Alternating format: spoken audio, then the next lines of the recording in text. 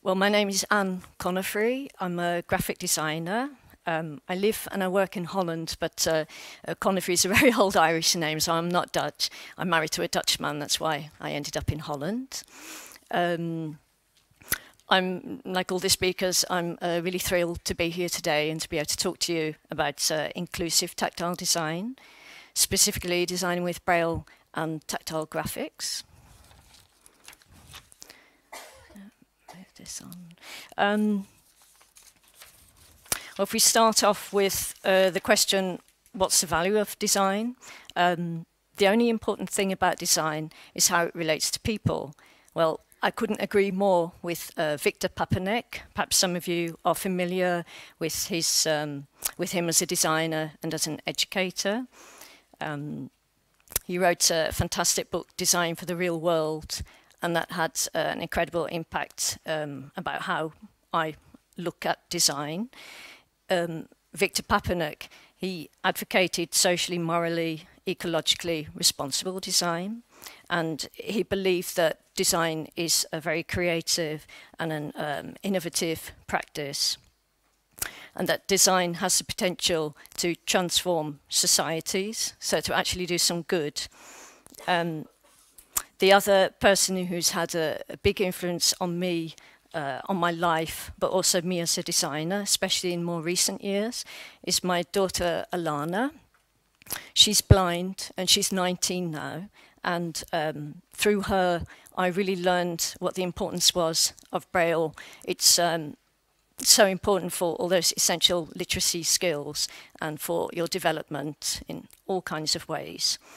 Um, when it's it's quite interesting because when she was little, I also designed a, um, a supportive communication system with her, together with um, an autistic spectrum disorder expert, because my daughter also has PDD-NOS. So it's a very interesting and sometimes complicated thing. Um, but I was always very much uh, involved in, in her development. And for instance, that communication system, it, it worked very differently, but um, that was later adopted by school. So we started off with three-dimensional objects and then worked towards two-dimensional objects and ended up with Braille and Braille in a portable system as well. Um, let's move on to the next slide. Um, I'm not going to go into this in too much detail because I just don't have time, but um, uh, design um, th there are so many aspects which are involved in design. I'll, I'll just mention the six criteria. This is called a, a function complex. Um, so we have uh, association, aesthetics, need, time, use, method. And I'm just going to flip forward to the design process. Um, my own things. Sorry, mess this up. Um, coming with another quote. Um, I hope that Mandy can help me to uh, pronounce the name of this Chinese philosopher and writer. Sorry? Tao Lao. Okay. I'll just stick to Dutch. um, that's hard enough. Uh, the potter's clay forms a vessel. It's a space within that serves and um, yeah, you can't have one without the other. So um, if you're talking about the design process, this entails a whole aspect of of of um, of different things, and um, basically what you're trying to do is find this balance between intellect and um, and perception, um, and um, again, it's all about this really unique relationship between the two um, concepts of functionalism, aesthetics, and ethics um, are combined so that um, content and, and the form that they are of equal value or at least in, in balance with each other. Um, when you start off the design process, um, very important is to ask the right the right questions. You can ask questions, but it's finding the right questions. If you don't do that, then um, you don't know what you're designing or how you, are going to go about that. Um, as many people have said, um, and certainly if you're talking about inclusive design, it's um, it's very important to to work with different um, uh, experts, different disciplines, uh, work with people with visual disabilities um, uh, on all the different phases uh, of a design process. Um, don't let yourself be weighed down by experience or conventions. Um, uh, experiment, uh, test. I can't impress upon you how important it is to test, test, and test. Even if you think you've got things right, you might not necessarily have got them right. And um, it's it's a process, and um, you, you, can modify, develop something further. Um, in this slide, this is um, this is something that I'm working on at the moment, is a series of six tactile books for young children, um, and it's part of um, it's part of uh, um, their te teaching method to learn Braille. And um, I'm working very closely with the teachers in a school in Holland, uh, Visio School, and working very closely with the children, of course. And um, it's it's a it's it's a very challenging project, uh, extremely interesting, and it's so nice to be working so closely. Um, move on to the. I think I'm going to go go back. So, what is inclusive design? We've heard a lot about this, and some of these things um, slight regurgitation of what you've already heard, but um, uh, it's design which takes into account the diversity um, of people with respect to ability, language, culture, gender, and age. Um, it's um, if you think about recognizing diversity and uniqueness, then um, you could come to the conclusion that mass solutions just don't work, um, that diversity supported uh, design solutions uh, can be best achieved through uh, flexible adaptive systems. Um, I thought that the last example with the uh, digital braille method uh, so advanced as well, so many different aspects um, to customize. I mean, that, that's just great.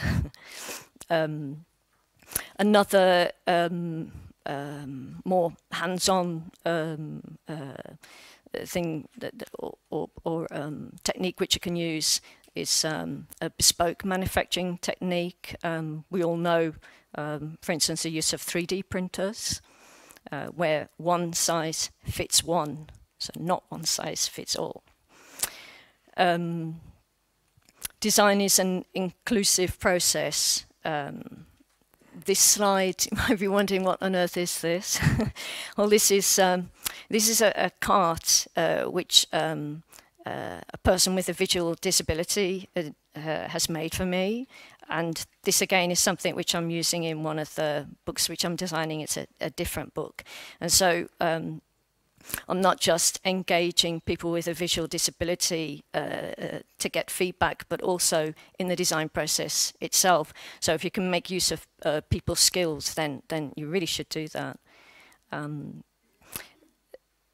inclusive design has very broad um, uh, beneficial impacts. It uh, can trigger a whole cycle of inclusion. Others can potentially uh, benefit from inclusive design solutions. Um, recently, I listened to a talk by Elise Roy. She's, um, she's a disability rights lawyer uh, who's also deaf, and she studied social design. And she's really convinced that uh, design uh, thinking has so many benefits for all. Uh, she gave a really nice example of uh, text messaging, which was originally designed for deaf people, and now everybody's using it. Um, got to slip that last thing. Uh, why use inclusive design? Um, well, inclusive design, it enables everyone to, or theoretically enables everyone to participate uh, equally, confidently and independently in everyday activities um, inclusive design, it's also a celebration of the diversity of people um, in which you can break down barriers of exclusion.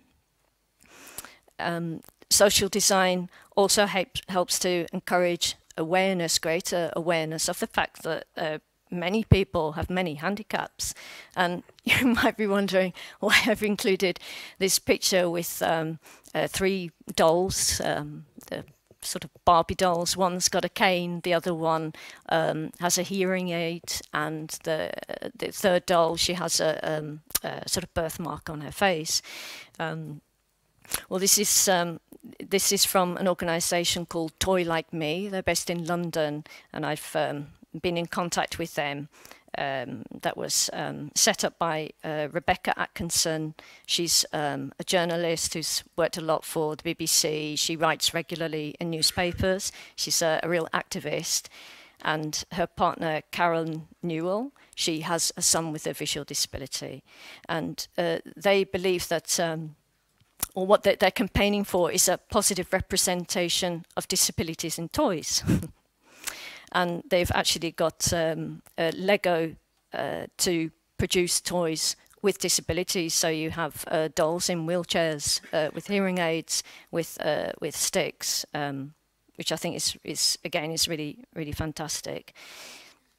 Um, if you're talking about um, a design for a, a, larger market, I would have thought that there's a lot of possibilities for um, working with different partners.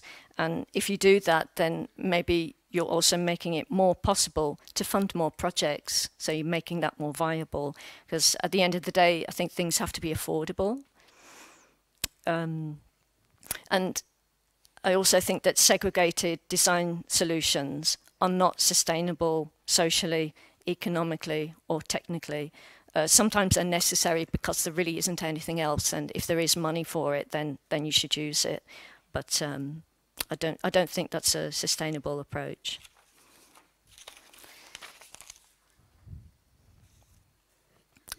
I've gone through that. Um, coming to designing with uh, Braille and uh, tactile uh, graphics. Um, again, I think it was a Spanish lady. Sorry, I've forgotten her name. But um, I loved it when I. Um, you'd also um, noted the fact that Braille often comes across as being really boring. Well, um, I think uh, particularly Braille that it's often produced in a, a very clinical and sterile way, uh, almost as if it's some kind of penance um, instead of being actively incorporated into a design process. Um, I'd really like to see a lot more um, high quality integrated design. And if you're talking about design for um, inclusive design, then it has to be high quality because uh, sighted people uh, are really not going to be, uh, they're not going to find, find it appealing enough to work with something that, that, um, that doesn't look good as well, that doesn't function well. Um, and I think that also you should um, embrace everyone on equal terms. So for me, uh, Braille should be considered as normal and important as print. Um, yeah. Um, and the other thing as well with uh, all these um, uh, um, auditive of, or possibilities of listening books. My daughter, she just she loves reading and she wants to read on paper. And I think she should always have the possibility of reading on paper or reading on a braille display, because um, uh, listening is not the same as reading. I think people sometimes forget that. Um,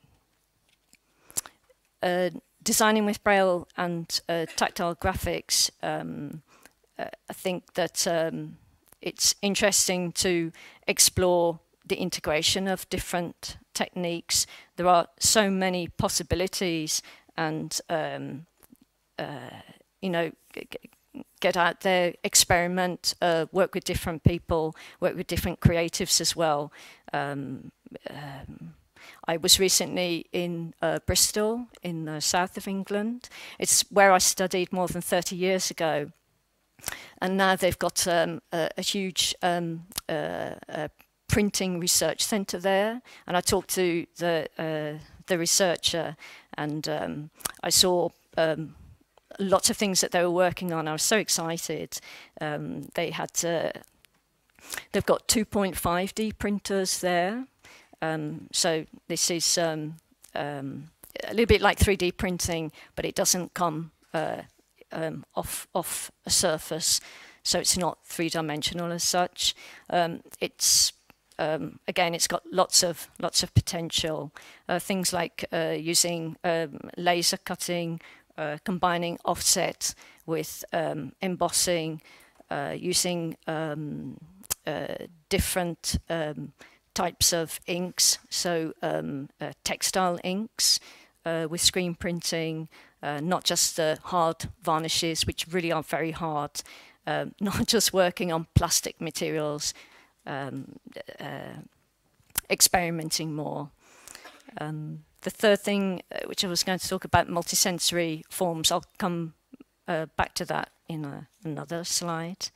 Um, the, the image uh, Braille, uh, Braille is onmisbaar.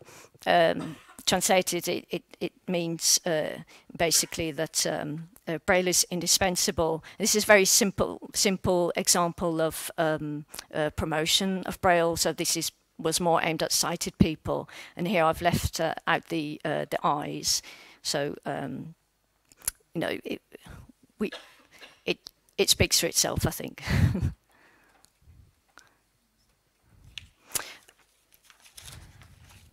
Unique characteristics. Um, obviously, we have to recognise that uh, uh, Braille has very unique characteristics, and because of this, um, uh, uh you have to uh, research the tactile requirements of Braille. I read Braille um, and um, I often come across the use of Braille um, and, and you know, sometimes it's almost as if Braille has been added as an afterthought, or Braille has been used as decoration, uh, Braille has been enlarged, or it's been uh, reduced, it's been stretched, it's been flattened, so it's um, it's illegible um, uh, even Braille. I also came across Braille, which had been um, uh, printed upside down.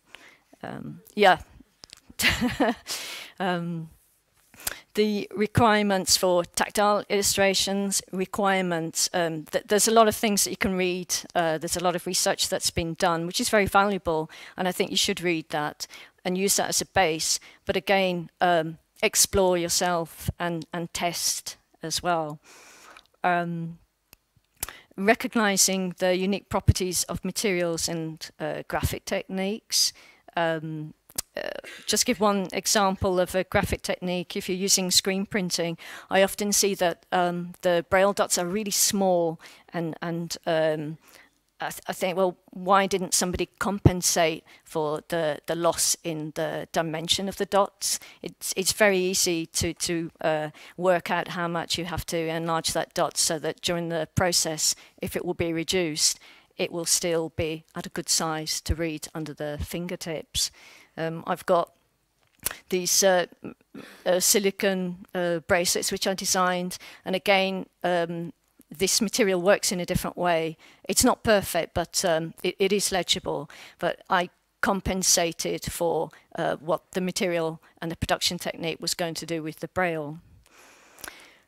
Um, if we talk about unique properties of materials, um, okay, I um, I really love uh, paper, and um, I'm just going to read something quickly.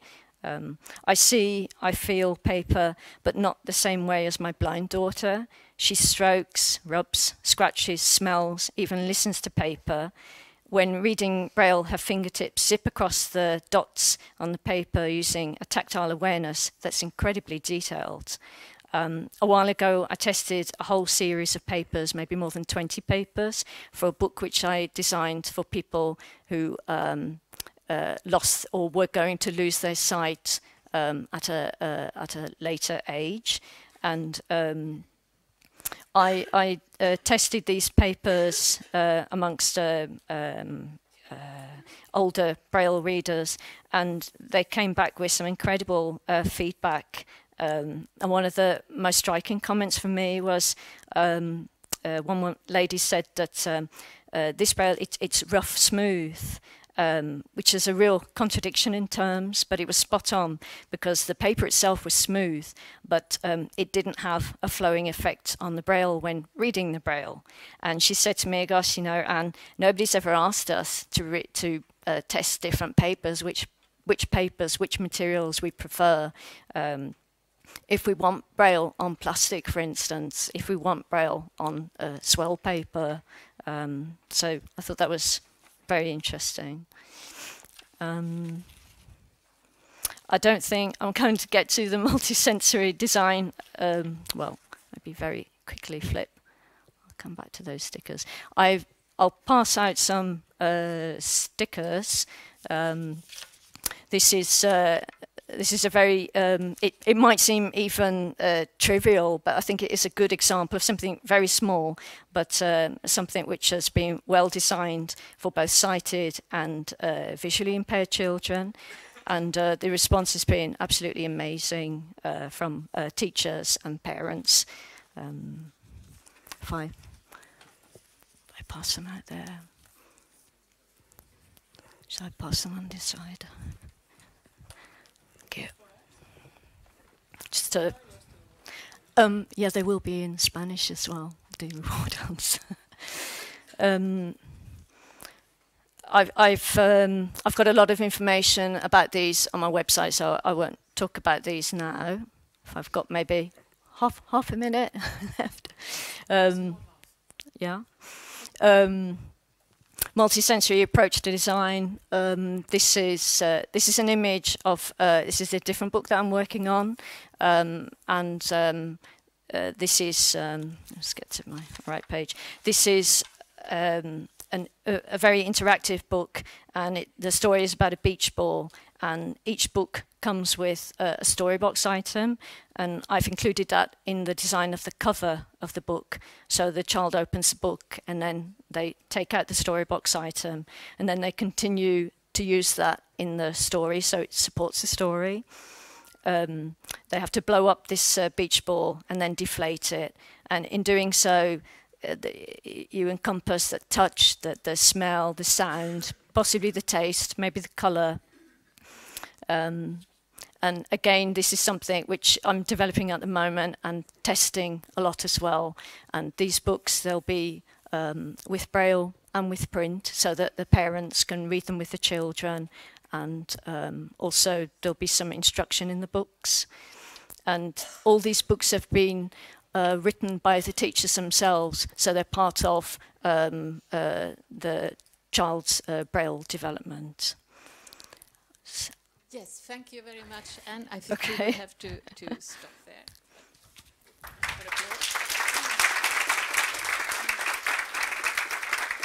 And uh, I would say time for one question at the most. Perhaps while you are thinking, I want, uh, I would like uh, Mandy and Gro and Elena to come once again to, to the stage. We would like to more substantially give us our thanks from the conference for your participation.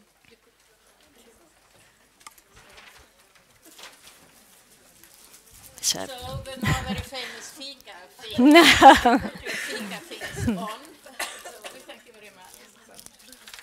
And Mandy, thank you very much. Oh. And then you got the red Thank you. Did you want the red one? the whole is up.